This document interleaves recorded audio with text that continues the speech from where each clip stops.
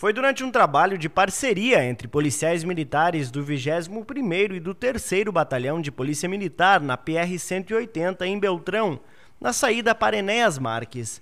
Os militares deram voz de abordagem a esse carro, mas o motorista não obedeceu e iniciou uma fuga. A equipe a todo momento né, usou sinais sonoros e luminosos, gesticulando para que os mesmos parassem e acatassem, né, porém os mesmos não acataram as ordens policiais, né, é, colocando em risco aí vida de pedestres e demais né, veículos que transitavam né, pelas, pelas vias do bairro. Né.